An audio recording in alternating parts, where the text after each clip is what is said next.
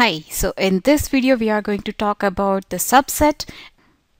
So the definition of subset is a set A is called a subset of set B if every element of set A is also a member of set B.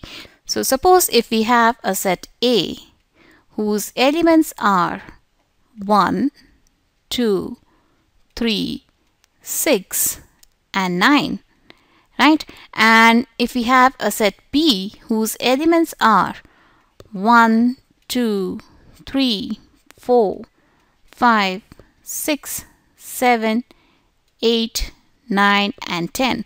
This is a set of first 10 natural numbers, right?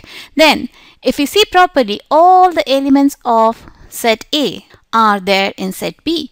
These first three elements are the first three elements of set B.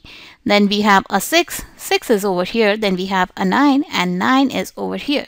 Then this set A is called the subset of set B.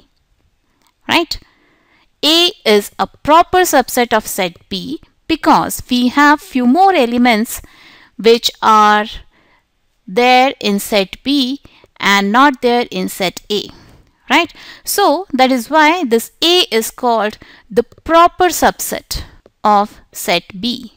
And then if we follow this definition, the set A is called a subset of set B if every element of set A is also a member of set B, right? So according to this definition, every set, set A is actually a subset of itself, right? And this is actually written as is a subset or equal to itself, right? Similarly, set B is also a subset of the set B itself, right? And both of them are equal. Why they are equal? Their cardinal number is same and they have exactly same elements, right? So this is how we write when two sets are equal and they are subsets also, right? So A is a subset of A. It is not a proper subset because all the elements are same right? And their cardinal numbers are also same. So it is not a proper subset. For a set to be a proper subset of some other set like in this case set A is a proper subset of B the cardinal number of A has to be less than the cardinal number of B.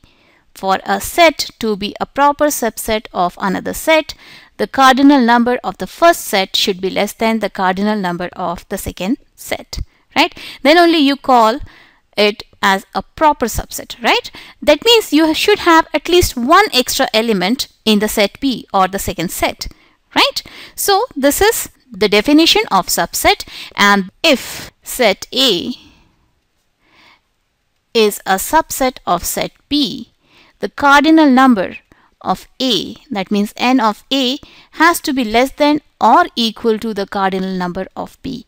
The cardinal number of set A cannot be greater than the cardinal number of set B right? So these are the few things to remember. And what about null set? The null set or the phi is the subset of all the possible sets. So phi is a subset of set A and phi is also a subset of set B and now again if we take these two sets as example, we have said that A is a subset of B, but B is not a subset of A, right? Here we have few elements of B which are there in A, but these elements which I have underlined in red, they don't belong to the set A. That means B is not a subset of A in this particular case. So this is what a subset is and in the next video we will be talking about how many subsets can you have for a given set right? So keep watching math smart and bye bye till then